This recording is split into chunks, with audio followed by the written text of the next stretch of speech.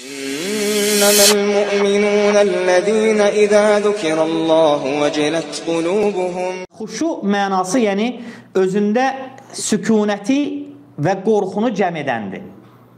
Özündə sükunəti və qorxunu cəm edir və xuşu qəlb əməllərindəndir və artıq namazda xuşu içərisində, müti içərisində olan kimsənin qəlbində olan o mütilik, qorxu, sükunət onun əzalarında da ortaya çıxır.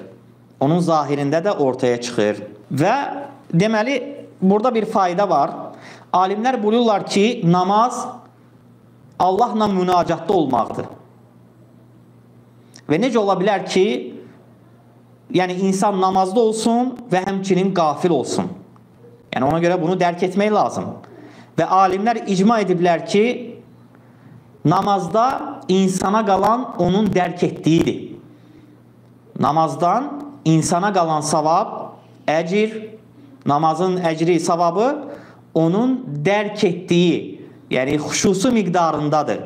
Nə qədər fikri namazdadır, o qədər də ona savab yazılar. Və Allah Taala nə buyurur? Və aqimis salate lizikri. Musa peyğəmbərə buyurur ki, məni zikr etmək üçün, məni xatırlamaq üçün namaz qıl. Və la takun minel gafilin. Və sən qafillərdən olma. Və sən qafillərdən olma. Artıq əgər insan namazda fikri yayınarsa, namazını dərk etməzsə, Allah qorusun qafillərdən olar.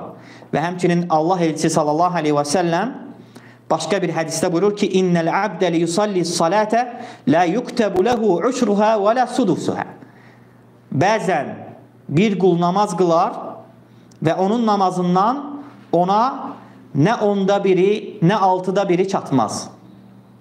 Nə onda biri, nə altıda biri çatmaz. Yəni, bəzən namazdan insan onda birini götürür. Bəzən olur 7-də biri, bəzən 5-də biri, bəzən 3-də biri. Yəni, baxın, yəni hədisdə bu cür qeyd olunur. Yəni, bu da insanın namazda dərk etməsinə görədir.